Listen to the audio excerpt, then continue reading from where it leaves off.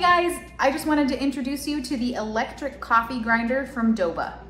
I have the product all set up. Now, this is what I did to set it up. We have the grinding chamber and the inner lid. Let me show you the inner lid.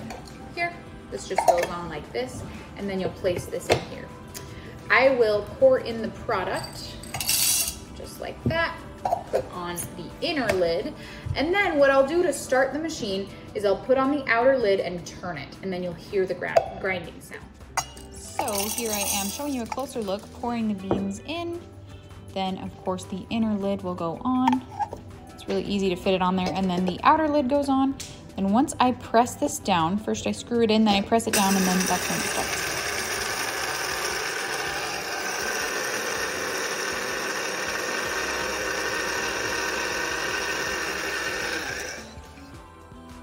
So here you can see the fine powder that I've ground these beans into.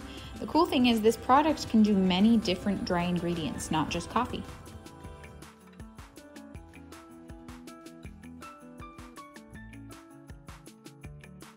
See here the beans I started with versus the fine powder that I ended up with. This product is really quick. It took about 15 seconds to grind this powder and it's pretty small and compact. So this could be something that you could take to the workplace. You could use it on a quick break during your day. It's nice and, it's pretty quiet too. The detachable stainless steel cup makes this product easy to clean. Overall, I would highly recommend this little coffee grinder.